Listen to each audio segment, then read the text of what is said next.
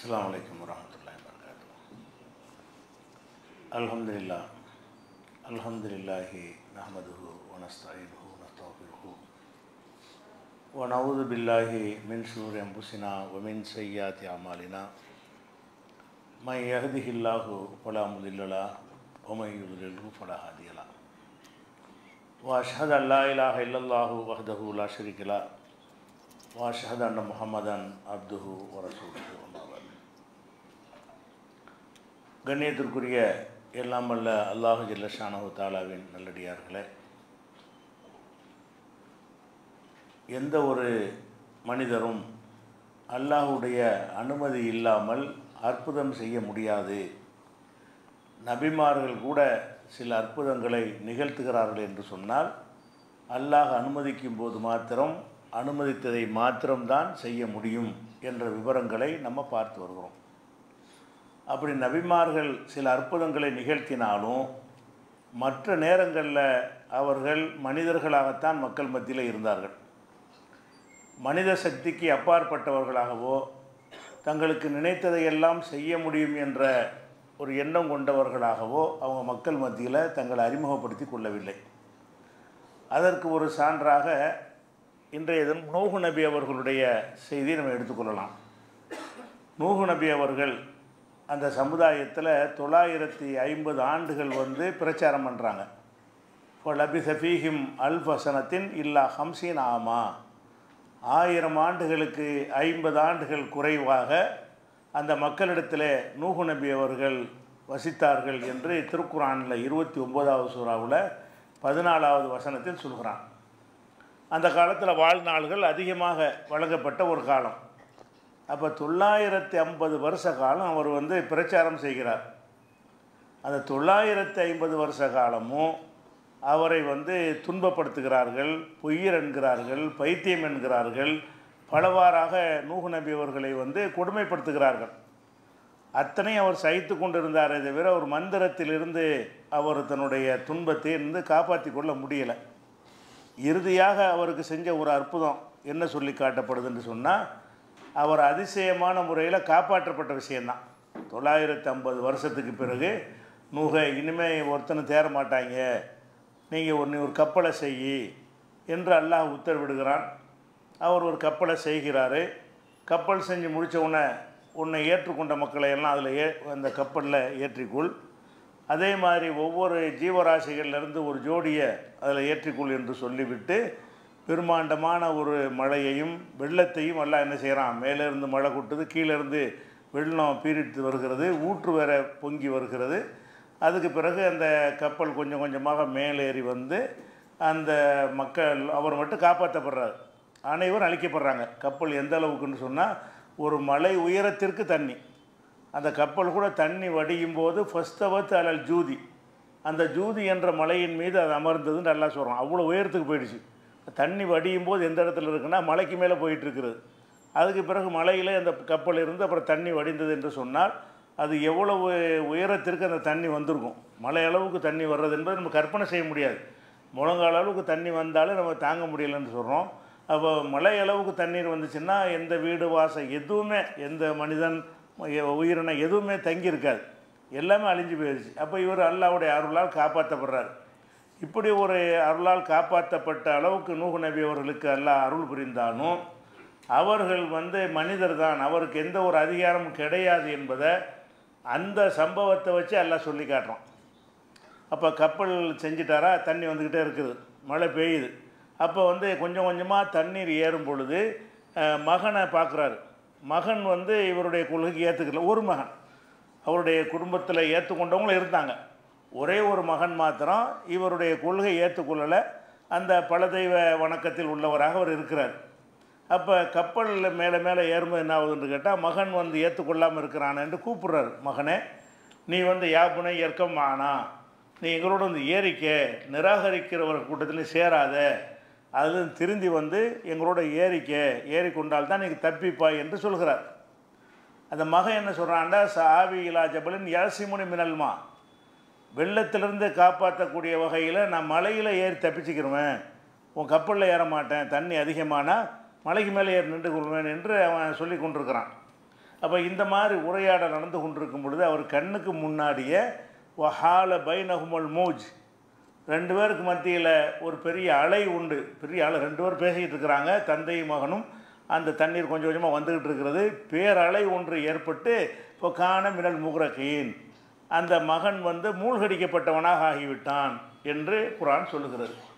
அப்போ நூகு நபி அவர்கள் பார்த்து கொண்டு இருக்க அவருடைய மகன் மூழ்கடிக்கப்படுகிறான். அவர் கூப்பிடுறாரு அவன் கொள்கை ஏற்றுக்கிற மறுக்கிறான். அப்பவும் திருந்த அவன் தயாராக இல்லை. கடைசியில் அழிக்கப்படுறான். அழிக்கப்பட்ட உடனே நூகு நபி என்ன செய்கிறாருன்னு கேட்டால் நான் ஒரு நபி தானே தொள்ளாயிரத்தி ஐம்பது வருஷம் இவ்வளோ சேவையெல்லாம் செஞ்சுருக்குறோம். அப்படி இருக்கும்பொழுது நமக்குன்ற ஒரு அல்லா சலுகை செய்ய மாட்டான்னு அவர் நினைக்கிறார். நினச்சி என்ன செய்கிறான்னா இன்ன புனிமின் நகலி யாரெல்லாம் என் மகன் வந்து என் குடும்பத்துக்காரனாச்சு அவன் அழிகிறானேங்கிறார் அவன் மகன் வந்து அழிக்கப்படும் பொழுது அவருக்கு தந்தை பாசம் வந்து மேலிடுகிறது. தந்தை பாசத்தை என்ன செய்கிறாருன்னா இன்ன புனிமின் நகலி என் மகன் என் குடும்பத்தை சேர்ந்தவன் அப்படின்னு சொன்னால் இதுக்கு என்ன அர்த்தம்னா அவனை மட்டும் காப்பாற்றுன்னு அர்த்தம். என் மகனை மட்டும் மற்றவங்களை அழித்தாலும் பரவாயில்லை. என் மகன் வந்து எனக்கு பிறந்தவனாக இருக்கிறதுனால என் குடும்பத்தை சேர்ந்தவனாக இருக்கிற காரணத்தினால் அவனை காப்பாற்று என்பதை என்ற கருத்தில் தான் அதை சொல்கிறார் அவன் என் மகனாயிற்று என் குடும்பத்தை சேர்ந்தவனாயிற்று அப்படின்னு சொல்கிறார் அல்லாஹ் அதுக்கு என்ன பதில் சொல்கிறான் தெரியுமா? இன்னகு லைசமின் அகலிக்க அவன் அவன் குடும்பத்தை சேர்ந்தவன் நபி தான். அவ்வளோ ஒரு அந்தஸ்து வச்சுருக்கிறான் அல்ல ஆனால் அவர் விரும்புகிற பெத்த மகனை காப்பாற்ற நினைக்கிறாரு. அந்த அதிகாரம்லாம் உங்களுக்கு தரப்படலை. நீங்கள் எனக்கு அடிமையாக இருக்கணுமே தவிர நான் விரும்பினபடி தான் செய்வேனே தவிர நீங்கள் ஒரு பெரிய நபிங்கிற காரணத்துக்காக வேணால் உங்கள் பிள்ளைக்கு நீங்கள் சிபாரிசு பண்ண முடியாதுங்கிறான்ல. இன்னஹு லைசமின் நகலிக்க உங்கள் மகன் உங்கள் குடும்பத்தை சேர்ந்தவன் இல்லை. குடும்பத்தை சேர்ந்தவன் என்று யார் வரணும்னா அந்த கொள்கையில் இருக்கணும். அந்த மார்க்கத்தில் இருந்தால் தான் குடும்பத்தை சேர்ந்தவன் ஆக முடியும். அவன் வேறு மார்க்கத்தில் இருப்பானே ஆனால் குடும்பத்தை சேர்ந்தவனாக இருக்க முடியாது என்று சொல்லிவிட்டு இன்னகு அமலுன் வைரு சாலிகின் இது நல்ல செயல் இல்லை. இந்த மாதிரி நீ பேசுகிறது நல்ல செயல் இல்லை. மகனுக்காக பிறந்து என்னுடைய கொள்கை என்னன்னு உனக்கு தெரியும். மக்களுக்கு அதை அதை பிரச்சாரம் பண்ண தான் உனக்கு அனுப்பியிருக்கிறேன். இவ்வளவும் தெரிஞ்ச பிறகு என் மகனை காப்பாற்றினா அது நல்ல செயலாது. நல்லா கேட்குறான் இன்னகு அமருன் கைரு சாலிகன் இது ஒரு நல்ல செயல் இல்லை என்று சொல்லிவிட்டு வலாத்து ஹாத்தி புனி பில் ஃபில்லதின் அல்லாமும் அநியாயக்காரங்க விஷயமாக என்கிட்ட பேசாத. அநியாயம் செய்த கொள்கை ஏற்றுக்கிறாதவங்க யாராக இருந்தாலும் சரி அவங்க சம்பந்தமாக என்னிடத்தில் எந்த பேச்சும் பேசாதே. என்று அவர் கோரிக்கை வைக்கிறதுக்கு இவ்வளோ கடுமையான வார்த்தைகளை வந்து பயன்படுத்துகிறான்ல அதே மாதிரி வந்து இன்னி ஆயுளு கண் தக்கூன மினல் ஜாகிலின். அறிவியினர்களில் ஒருவராக நீ இருக்கக்கூடாது என்று உனக்கு நான் அறிவுரை சொல்கிறேன் ஜாகில்னா ஒரு மூடன் அறி அறியாதவன். அறியாத ஒரு மனிதராக நீ இருப்பதை விட்டு உனக்கு நான் எச்சரிக்கை செய்கிறேன் நீ வந்து அறிவியினராக இருக்கக்கூடாது. இதெல்லாம் அறிவியினர் தான் அந்த மாதிரி பேசுவாங்க. அதிகாரம் எல்லாம் அல்லாவுக்கு உண்டு சொல்கிறது தான் இஸ்லாம். எல்லா அதிகாரமும் அல்லாவுக்கு மட்டும் இருக்குங்கிறதா இஸ்லாமே தவிர உங்களுக்கு வேண்டியவங்க வேண்டாதவங்களுக்கெல்லாம் அந்த சலுகை கொடுக்கறதெல்லாம் இஸ்லாம் கிடையாது. அல்லாஹ் வந்து தன்னுடைய அதிகாரத்தை வந்து மனுஷனுக்கு கொடுப்பான் என்பதெல்லாம் இஸ்லாம் கிடையாது. அதனால் என்ன செய்கிறாங்கன்றா நீ அறிவியினராக இருப்பதை விட்டு உனக்கு நான் எச்சரிக்கை செய்கிறேங்கிறாங்க அவர் என்ன செய்கிறாருன்னா நான் நான் வந்து அவுது பில்லாஹி மிக்க அன்னக்கும் மினல் ஜாகிலீன் நான் அறிவியினராக இருப்பதை விட்டு உன்னிடத்தில் நான் பாதுகாப்பு தரேன் இனிமேல் நான் இருக்க மாட்டேன்.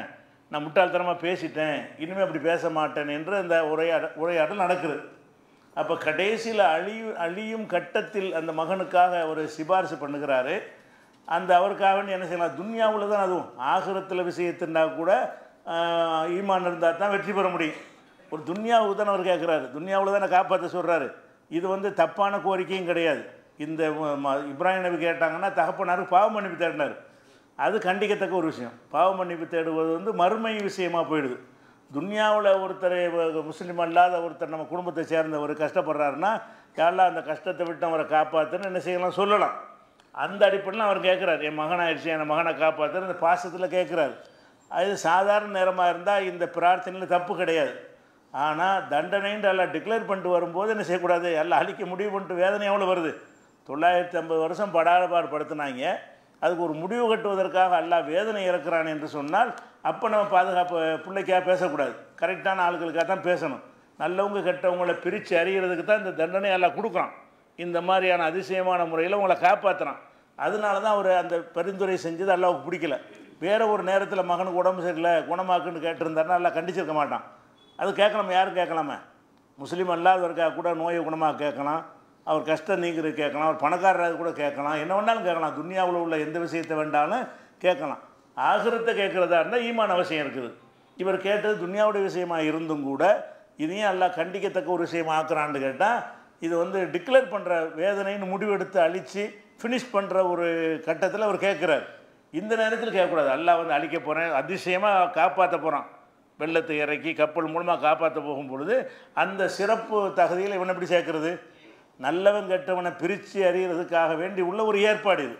அந்த ஏற்பாடு எல்லாம் செய்யும்போது கெட்டவனையும் கொண்டாந்து சேர்த்துக்கிறதுன்னு ஒரு கேட்பாரையானால் அது தவறு என்பதற்கு தானே தவிர பொதுவாக பிள்ளைகளுக்காக வேண்டி கெட்ட பிள்ளைகளுக்காக வேண்டி தந்தைகள் வந்து துன்யாவுடைய விஷயத்திற்காக கேட்பது வந்து தப்பு கிடையாது.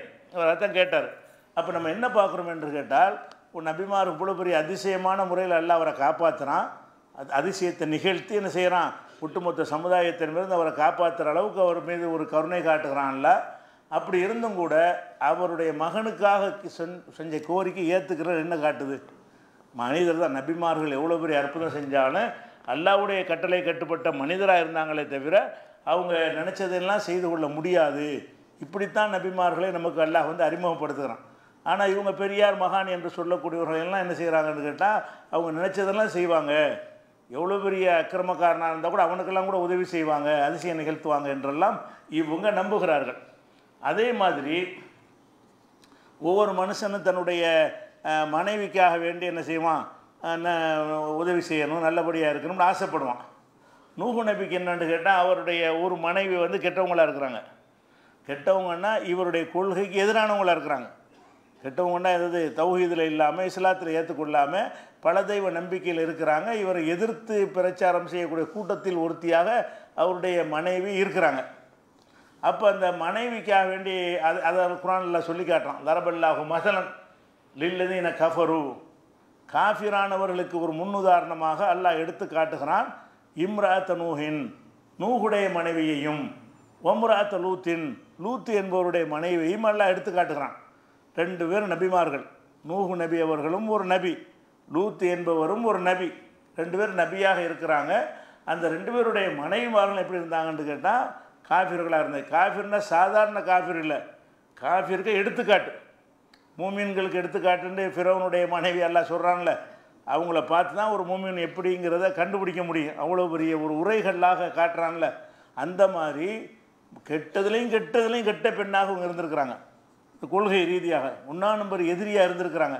அதனால தான் அந்த காபியர்களுக்கு முன் உதாரணமாக இந்த ரெண்டு பேருடைய மனைவியையும் அல்லாஹ் காட்டுகிறான்.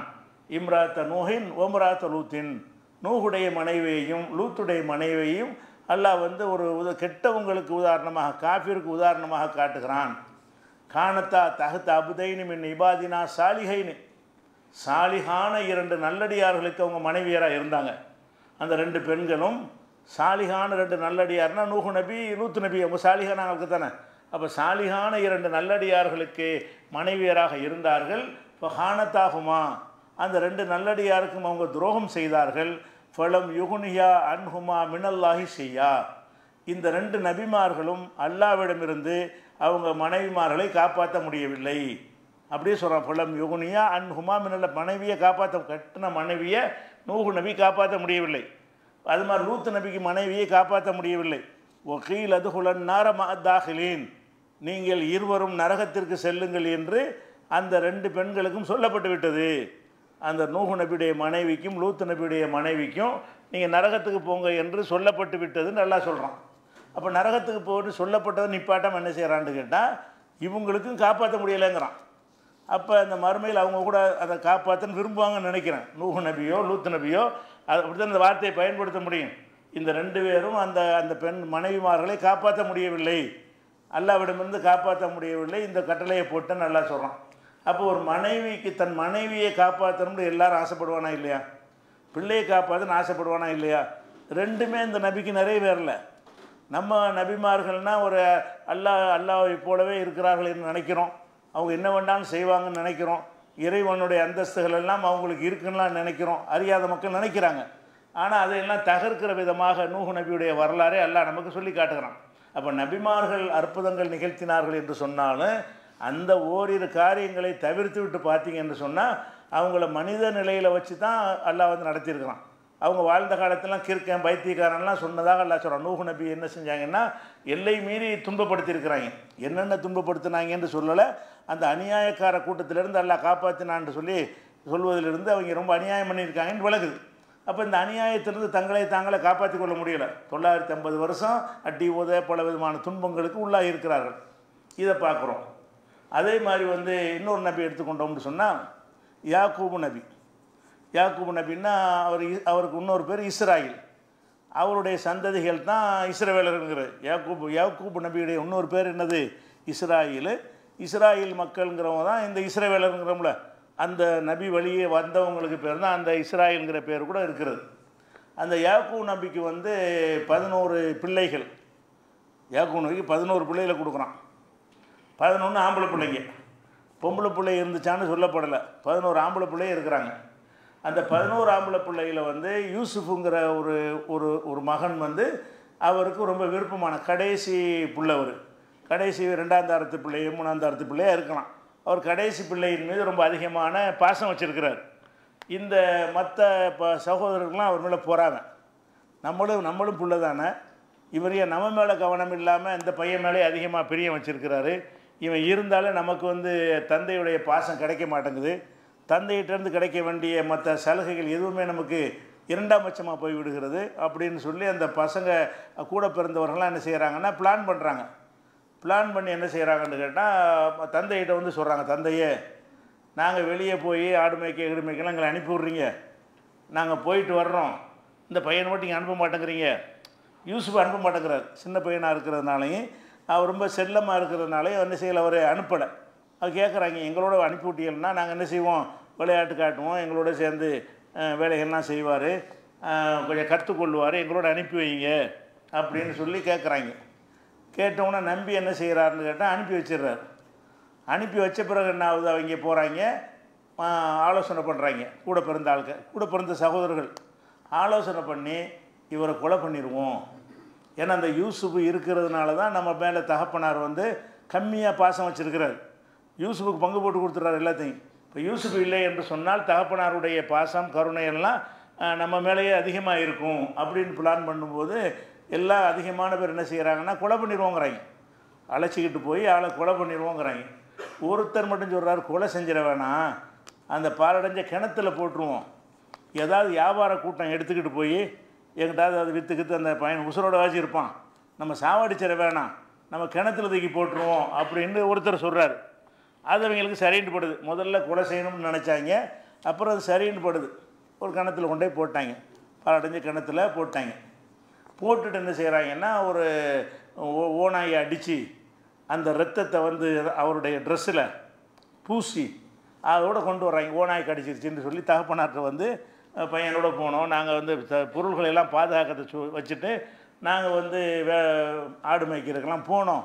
அப்போ என்ன செஞ்சிருச்சுன்னா ஓனாய் வந்து அவரை சாப்பிட்ருச்சு அப்படின்னு சொல்லி அவங்க வந்து தந்தைகிட்ட சொல்கிறாங்க தந்தை என்ன சொன்னால் அவருக்கு நம்ப முடியலை. இப்படி இது ஓனாய் சாப்பிட்ருக்குன்றது ஓனாய் சாப்பிட்டதுக்குடைய அறிகுறி தெரியலன்னு அவர் மனசில் படுது. இருந்தாலும் என்ன செய்கிறாருன்னா சபுர் செஞ்சிட்ருக்கிறார். இதில் அந்த மகனை நினச்சி நினச்சி நினச்சி நினச்சி அழுகிறார். எவ்வளோ நாள் அழுகிறாரு?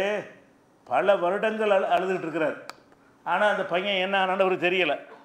அவர் யூசுப் நபி என்ன செய்கிறாங்கன்னா அந்த கிணத்துல போடப்பட்டதை ஒரு வியாபார கூட்டம் வந்து எடுத்துக்கிட்டு போய் எகிப்தில் கொண்டு போய் அவரை விற்றுப்பிட்டாங்க ராஜா வீட்டு குடும்பத்தில் வித்துடுறாங்க. விற்றோன்னு அங்கே அடிமையாக இருந்து வளர்ந்து இளைஞராகி கடைசியில் வந்து அவர் சிறைக்கு அடைக்கப்பட்டு கடைசியில் நன்மதிப்பை பெற்று ஆட்சி அதிகாரம் அவர் கையில் வருது. அது வரைக்கும் இவருக்கு தெரியலை. யாருக்கு? யாக்கூப் நபி ஒரு நபி. அவர் அல்லாவுடைய நபி தான் நபியிலையும் சிறந்த நபிமார்களில் ஒரு லிஸ்ட்டில் வரக்கூடிய ஒரு நபி.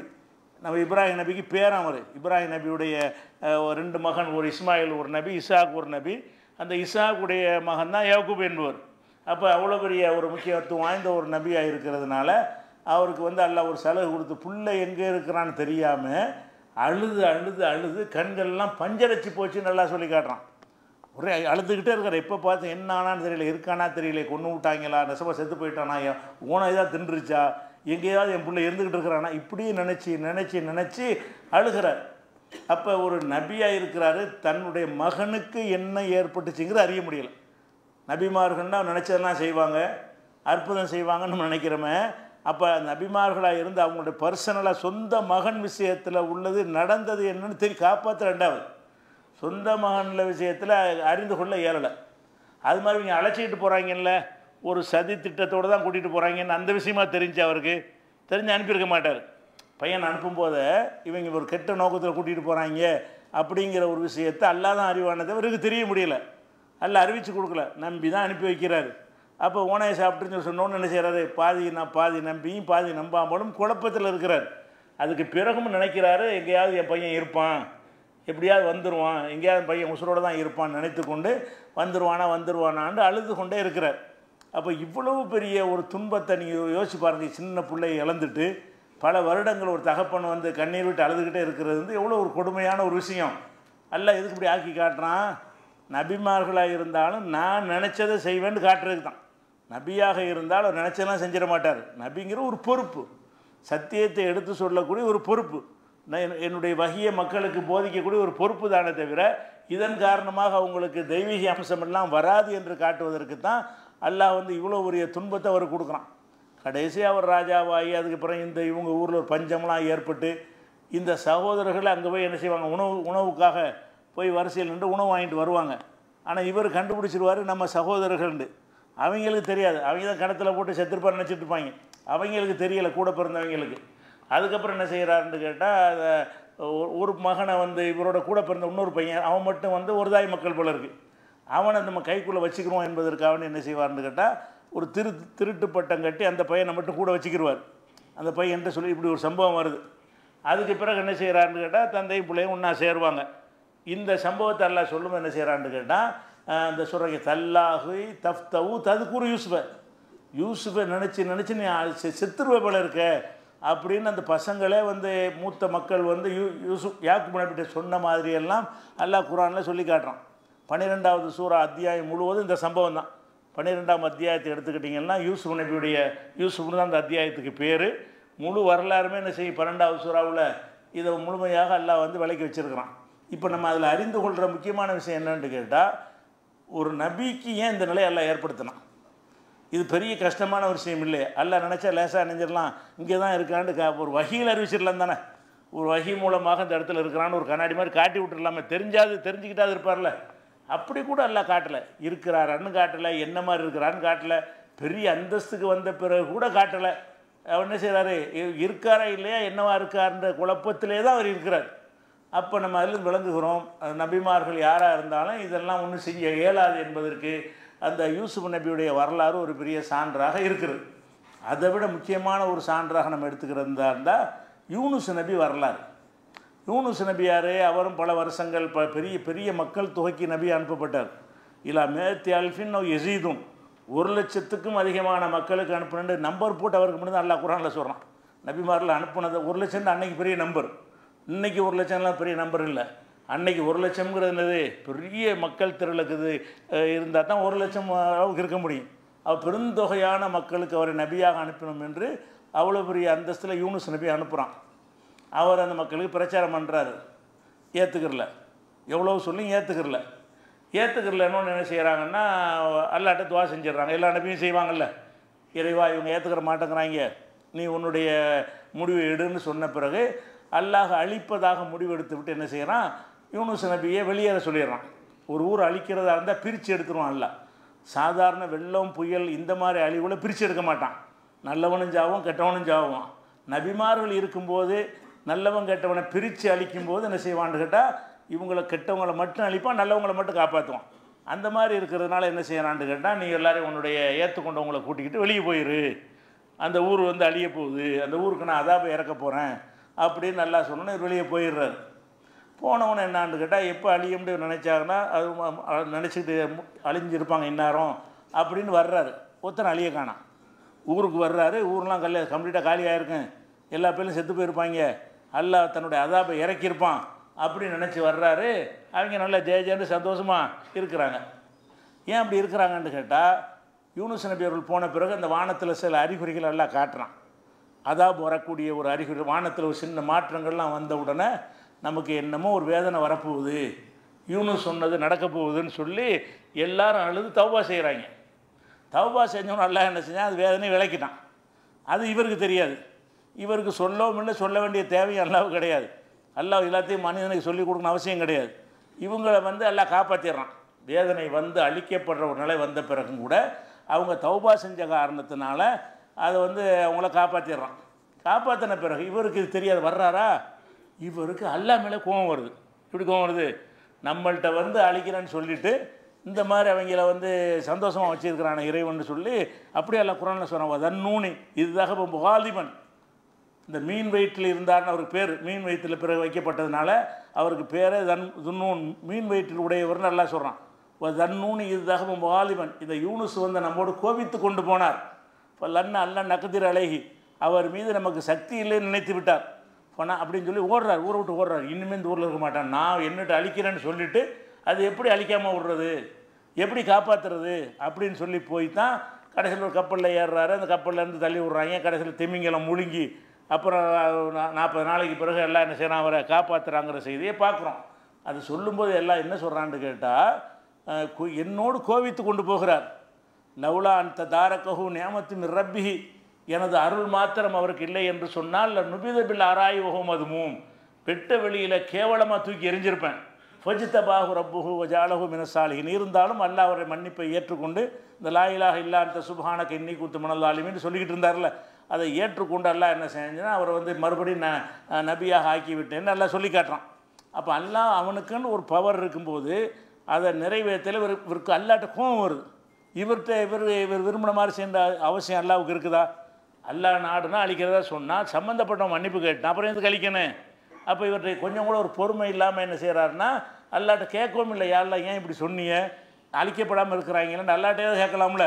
அவருடைய கோபம் வந்து அதிகமாக தலைக்கு ஏறினவுடனே என்ன செய்யறன்னு தெரியாமல் கோபித்து என்னோடு கோபித்து கொண்டு போகிறான்னு சொல்கிறான் சொல்லிட்டு அல்ல என்ன செய்ய நமக்கு என்ன சொல்கிறான்னு கேட்டால் நபிகள் நாயத்துக்கு சொல்கிறான் ஒலாத்த குன் சாஹிபில் ஹூத்.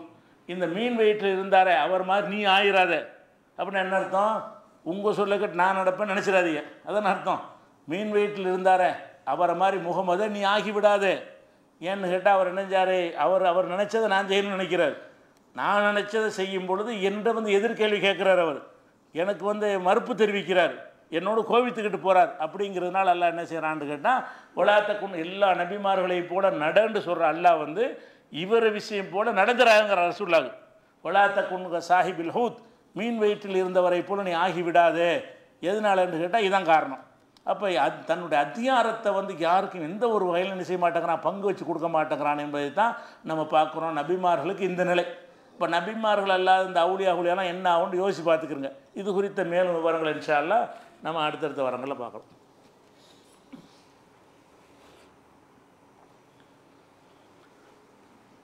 அன்பிற்குரிய சகோதரர்களே இப்போ நாடாளுமன்ற தேர்தல் முழுமையாக முடிந்து இரண்டு நாளில் வந்து புதிய ஆட்சி மறுபடியும் அமையப் போகிறது என்று உங்களுக்கெல்லாம் தெரியும்.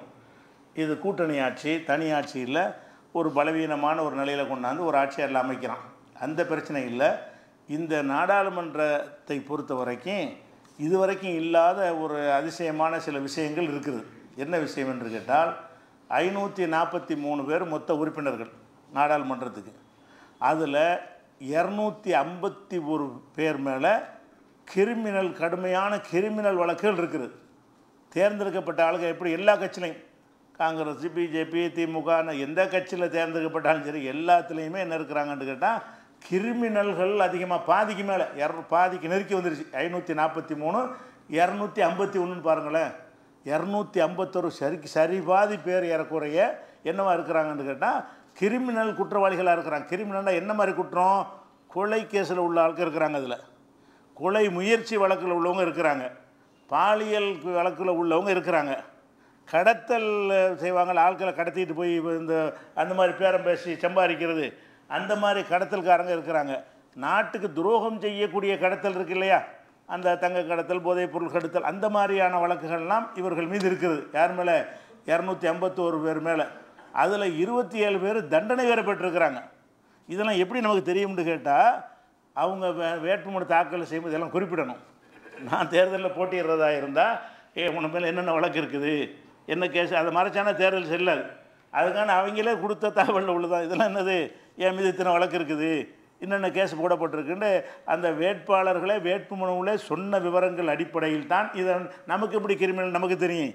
அவங்க கொடுத்த அந்த விவரத்தை எடுத்து தான் இதை சொல்கிறாங்க அப்போ இந்த நாட்டுக்கு சேவை செய்யன்னு போகிறாங்க எப்படியான ஆட்களை மக்கள் தேர்ந்தெடுக்கிற வாய்ப்பு தர்றாங்க கட்சிக்காரங்க? எல்லா கட்சிக்காரங்களும் நமக்கு என்ன வாய்ப்பு தர்றாங்க? இந்த குலகாரனை தேர்ந்தெடு. இந்த கொள்ளைக்காரனை தேர்ந்தெடு இந்த வழிப்பறிக்காரனை தேர்ந்தெடு இந்த பாலியல் வ- வன்முறை செஞ்சவனை தேர்ந்தெடு பெண்களுக்கு எதிராக குற்றம் புரிந்தவனை தேர்ந்தெடுன்னு சொல்லித்தான் அந்த சான்ஸ் நமக்கு தர்றாங்க. அதில் தான் ஒருத்தர் தேர்ந்தெடுக்க வேண்டியிருக்கு. நம்ம யாரை தேர்ந்தெடுக்க வேண்டியிருக்குது? நல்லவர்களை தேர்ந்தெடுப்பதற்கு ஒரு எந்த ஒரு சான்ஸாவது அரசியலில் இருக்காண்டா? இல்லை. அப்போ எல்லா கட்சிக்காரனும் என்ன செய்கிறான்னு கேட்டால் அவன் ஜெயிப்பதற்கு இந்த ரவுடி இருந்தால் தான் ஜெயிக்க முடியும். இந்த குலகாரனை போட்டு தான் ஜெயிக்க முடியும்னு ஒவ்வொரு கட்சிக்காரனும் அட்ஜஸ்ட் பண்ணுறான்னு சொன்னால் இவர்கள் வழங்குற ஒரு ஆட்சி எந்த கட்சி ஆட்சிக்கு வந்தாலும் இப்படி நல்லாட்சியாக இருக்கும்? இந்த மாதிரி உள்ளவன்லாம் போய் செலவழிச்சிட்டு வந்து வந்தவன் எப்படி உங்களுக்கு நல்லது செய்வான்? இந்த பதவிகள் இல்லாமல் இருக்கும்போது மூட்டு பண்ணவன். இப்போ எம்பிங்கிற ஒரு பதவி அதில் எத்தனை பேர் மந்திரியாக போகிறான்னு தெரியல. இவனும் அந்த பதவியெல்லாம் கிடைச்ச பிறகு இவங்களுடைய செயல்பாடு எப்படி இருக்கும்?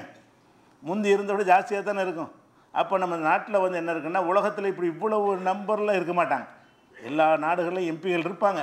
ஒரு நூற்றுக்கு ரெண்டு பேர் மூணு பேர். அந்த மாதிரி இருப்பாங்க. நம்ம நாட்டில் இது இந்த தடவை தான் ஜாஸ்தியாக இந்த நூற்றி நூறு பேர் நூற்றம்பது அந்த மாதிரி தான் இருந்திருக்கிறாங்க இது வரைக்கும் இப்போ தான் இரநூத்தி ஐம்பத்தி ஒரு பேர் இந்த தேர்தலில் வந்து எல்லா கட்சியும் கிரிமினல்களுக்கு இடம் கொடுத்துருக்கிறார்கள். அதனால் இந்த அரசியல்வாதி போய் நமக்கு சேவை செய்வான் அதை செய்வான்னு நினச்சோம்னு சொன்னால் நம்மளை மாதிரி பைத்தியக்காரங்க யாரும் கிடையாது. அவ- இவங்க தகுதியற்றவர்களை தான் நம்ம தேர்ந்தெடுக்கிறோம் அதான் நமக்கு முன்னாடி உள்ள சான்ஸாக இருக்குது. அதுதான் அவன் அவனை தான் நிப்பாட்டினாட்டு அவனை தான் தேர்ந்தெடுக்கணும். அப்போ நல்லவர்களை தேர்ந்தெடுக்கிறதுக்கான வாய்ப்பு கூட வழங்கப்படாத ஒரு ஜனநாயகமாக இருக்கிறது என்பதை ஒரு தகவலாக பதிவு செய்து கொள்கிறேன். அலாம் அலைக்கும்.